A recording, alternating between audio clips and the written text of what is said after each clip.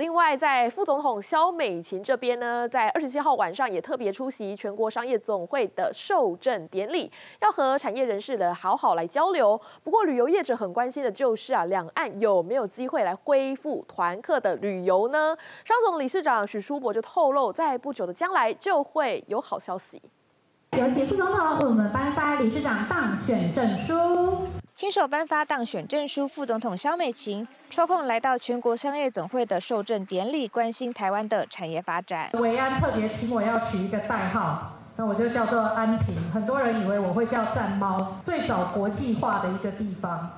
我一直相信台湾要继续蓬勃发展，就是要跟世界接轨。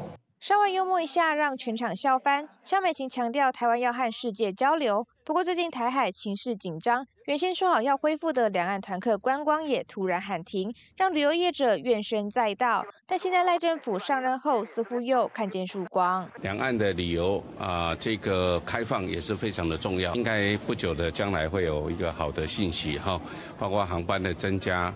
还有开放这个两岸旅游的这个人数的增加。商总理事长许书博透露，他们正积极的和中国沟通，一切都往好的方向发展。